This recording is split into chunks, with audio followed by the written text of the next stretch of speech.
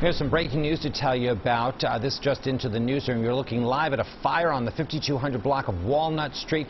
You can see the Philadelphia firefighters have knocked down the flames at this point. That call came in right around 545 this morning, and it appears there that the adjoining home is also slightly damaged.